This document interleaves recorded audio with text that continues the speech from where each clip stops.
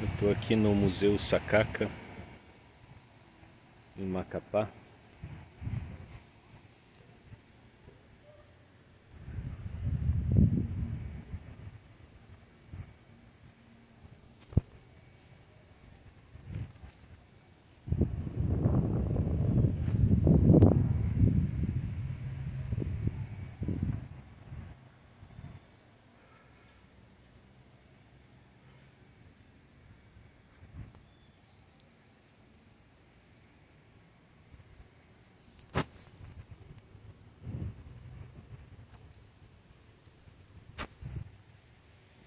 Praça do Sacaca.